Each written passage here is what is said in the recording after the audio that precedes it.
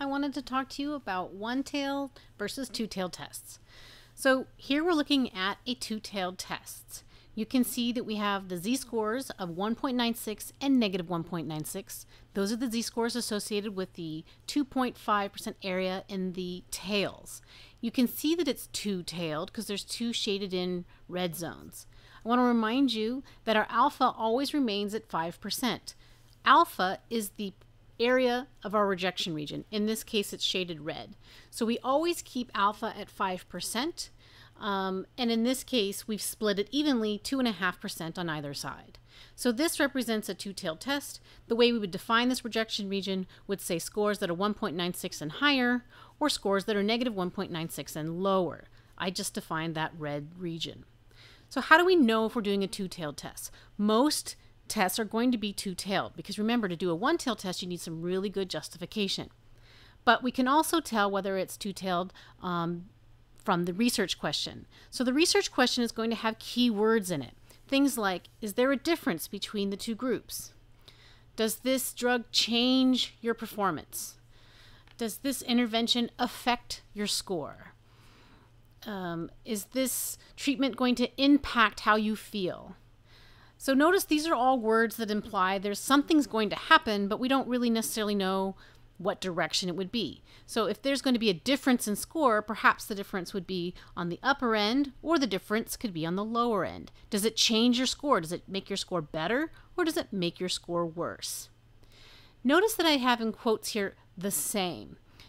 A research question can have the words the same. However, it is not good form. We should be talking about trying to find differences. So if you were trying to say, I want to know if men and women have the same income, ideally it should be written as, do men and women have different incomes? But I put it in quotes because if you had worded your research question with the words the same, then that would imply it's a two-tailed test. Because if they're not the same, then it could be either way, upper or lower.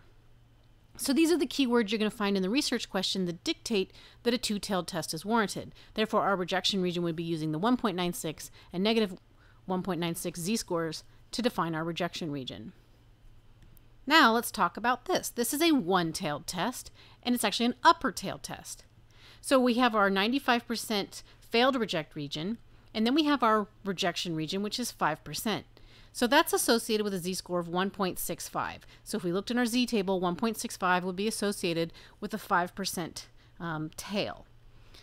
So this is a one-tailed upper tail test because you can see it's in the upper side and it's just one tail. There's only one red zone. Again, we've maintained our alpha at 5%. Our rejection region is capped at 5%. Um, but it's all on one side instead of split evenly 2.5% on either side. So how would we know if we're going to do a one-tailed test? Well, first, first of all, you're going to need good justification, previous literature, um, some really valid reasons to do a one-tailed test. But the research question would also indicate to you that a one-tailed test is warranted. So you're going to see words for this like these. So does it increase your score? Does it improve your mood? Do you feel um, more content? Does it make you have a higher performance?